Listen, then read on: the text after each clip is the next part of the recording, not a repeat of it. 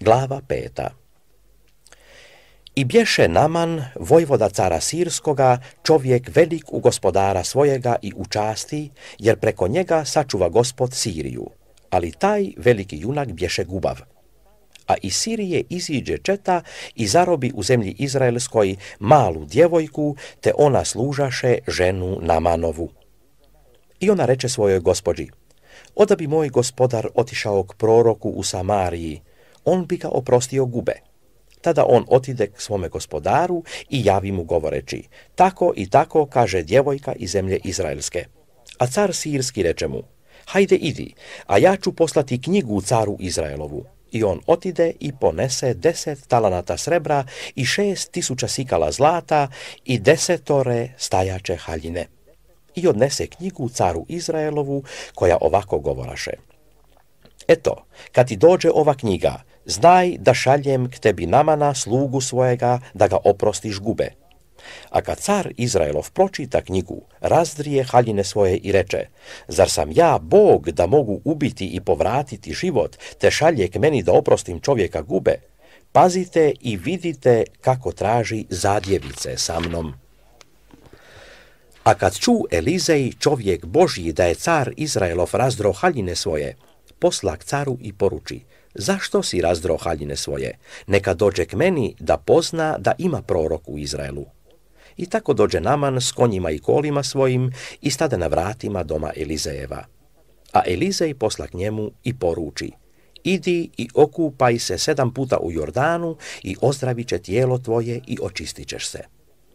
Tada se rasradi Naman i pođe govoreći, gle, ja mišljah, on će izaći k meni i staće i prizvaće ime gospoda Boga svojega i metnuti ruku svoju na mjesto i očistiti gubu.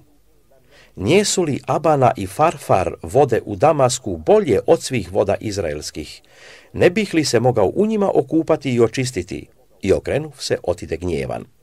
Ali sluge njegove pristupivši rekoše mu govoreći, Oče, da ti je kazao prorok što veliko, ne bi li učinio? A zašto ne bi kad ti reče, okupaj se pa ćeš se očistiti? I tako siđe i zaroni u Jordan sedam puta po riječi čovjeka Božjega i tijelo njegovo posta kao u maloga djeteta i očisti se. Tada se vrati k čovjeku Božijemu sa svom pratnjom svojom i došav stade pred njim i reče, Evo sad vidim da nema Boga nigdje na zemlji do u Izraelu nego uzmi dar od sluge svojega. Ali on reče, tako da je živ gospod pred kojim stojim, neću uzeti. I on navaljivaše nanj da uzme, ali on ne htje. Tada reče Naman, kad nećeš, a ono neka se da sluzi tvojemu ove zemlje koliko mogu ponijeti dvije mazge. Jer sluga tvoj neće više prinositi žrtava paljenica, ni drugih žrtava drugim bogovima nego gospodu a gospod neka oprosti ovo sluzi tvojemu. Kad gospodar moj uđe u dom Remonov da se pokloni ondje, pa se prihvati za moju ruku da se i ja poklonim u domu Remonovu, neka oprosti gospod sluzi tvojemu kad se tako poklonim u domu Remonovu. A on mu reče, idi s mirom. I on otide od njega i prijeđe jedno potrkalište. Tada reče Gijezije sluga Elizeja čovjeka Božijega, Gle, gospodar moj, ne htje primiti iz ruku toga nama na sirca što bješe donio. Ali tako da je živ gospod, potrčaću za njim i uzeću što od njega.